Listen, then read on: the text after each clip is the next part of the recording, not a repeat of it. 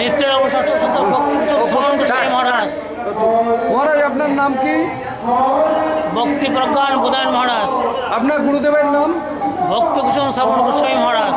আপনি বর্তমানে কোন মিশনের সঙ্গে আছেন? আমরা তো মোট শ্রী চৈতন্য মঠেরই অংশ। আপনার কোন মিশন এখন? শ্রী চৈতন্য মঠ মায়াপুর। আপনার পরম গুরু মহারাজ অর্থাৎ শিলকৌবা ভক্তি সিদ্ধান্ত বাণী চিন্তা এবং দর্শনে কি প্রয়োজনীয়তা বর্তমান সমাজের জন্য পক্ষে আছে না ফুরিয়ে গেছে? প্রবাদে আদর্শ আচার বিচার জগতের প্রত্যেক লোকেরই মনে প্রয়োজন। কিন্তু সেইগুলো আজ জীবীর সুকৃতির কুফলে গ্রহণে পতিত হচ্ছে। গৌবাদের বাণী চিন্তা এবং তার নাম প্রচারের কি দায়িত্ব আছে বর্তমান সন্ন্যাসীবৃন্দ এবং দায়িত্ব প্রবাদের বাণী আচার আচার বৈশিষ্ট্য সারা বিশ্বজগতে প্রচার করার অধিকার প্রত্যেকেরই আছে।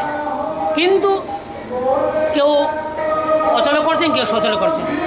বর্তমান যে অধপতিত যুব সমাজ এরা কি বহুবাদে বাণী এবং চিন্তা দর্শন গ্রহণ করলে এরা কি সঠিক পথে ফিরে আসতে পারে? তপত যুব সমাজ যদি প্রবদে বাণী আদর্শ আচার বিচার যদি গ্রহণ করে তাহলে তাহলে তাদের জীবন ধন্য হবে।